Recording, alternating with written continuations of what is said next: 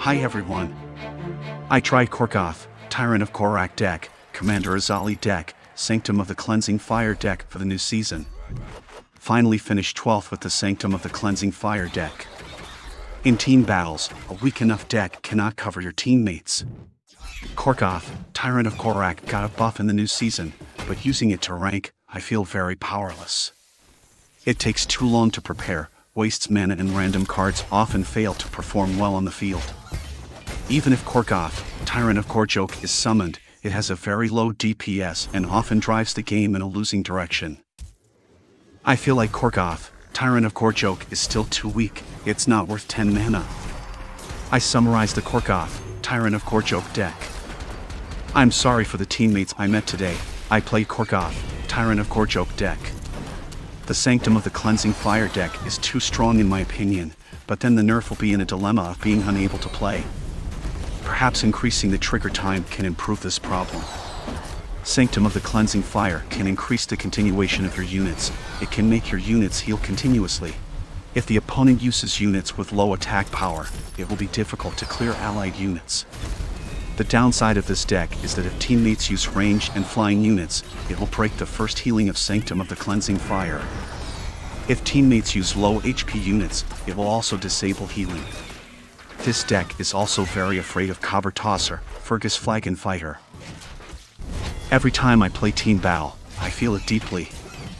I met many players in Team Battles, always complaining about their teammates.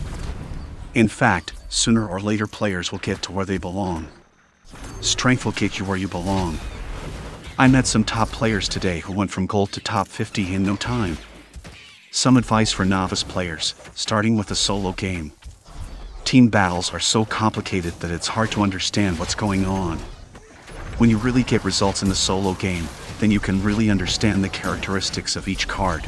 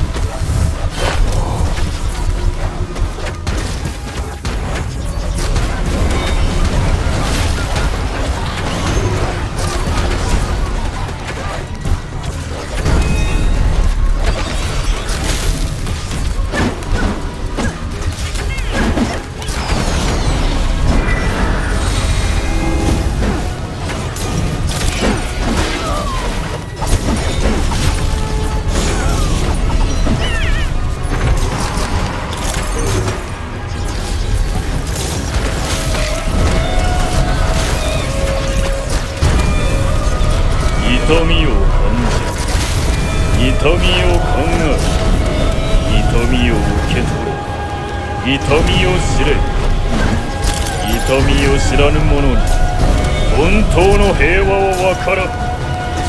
ここよい世界に痛みを。